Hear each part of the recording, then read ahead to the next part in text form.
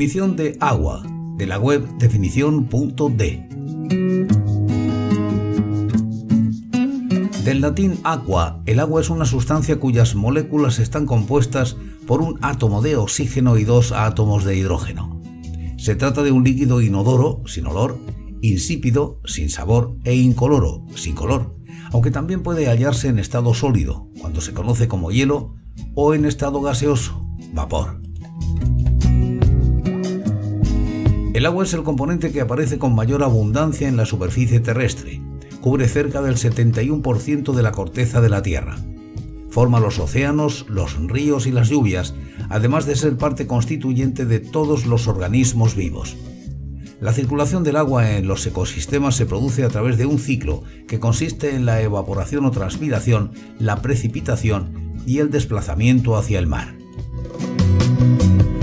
Se conoce como agua dulce al agua que contiene una cantidad mínima de sales disueltas, a diferencia del agua de mar, que es salada. A través de un proceso de potabilización, el ser humano logra convertir el agua dulce en agua potable, es decir, apta para el consumo gracias al valor equilibrado de sus minerales.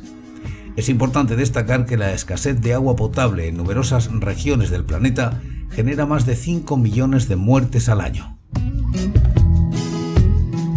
El agua mineral, como su nombre indica, contiene minerales y otras sustancias disueltas, de modo tal que se le agrega un valor terapéutico o se altera el sabor. Este tipo de agua es el que se comercializa envasado en todo el mundo para el consumo humano. Escasez. La escasez de agua es un problema que tiene lugar en todas partes del planeta. Alrededor de un 20% de la población mundial reside en zonas donde no hay suficiente agua y otro 10% se acerca a dicha situación. Por otro lado, un 25% debe enfrentar la falta de recursos por parte de su país para realizar el transporte de agua desde los acuíferos y ríos.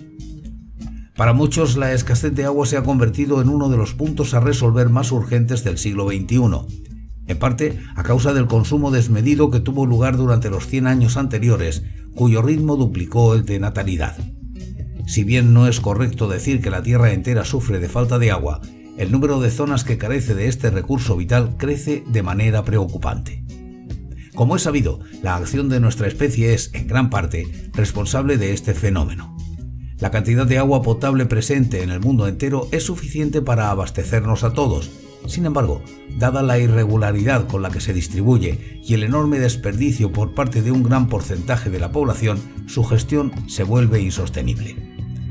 Por lo general la hidrología se vale de la relación entre agua y población para medir la escasez, la cual existe cuando el suministro anual de agua a una región disminuye en mil metros cúbicos por persona. Se habla estrés hídrico, en cambio, cuando el descenso es de 1.700 metros cúbicos. La escasez absoluta se da cuando cada individuo tiene acceso a menos de 500 metros cúbicos por año. En otras palabras, la escasez de agua tiene lugar cuando no se puede satisfacer la demanda de dicho recurso, sea por su cantidad o por su calidad. Es importante recordar que no solo se utiliza para beber, sino que el ser humano le ha dado otros usos que también entran en la ecuación. Por esta razón, la escasez es un concepto relativo, un fenómeno que puede surgir de una demanda excesiva en un entorno que bien podría abastecer las necesidades reales o de falta del mínimo necesario para la vida de sus usuarios. Y mañana, más palabras de esta fantástica web que es definición.d. ¿Estaréis aquí para compartirlas conmigo? Yo sí.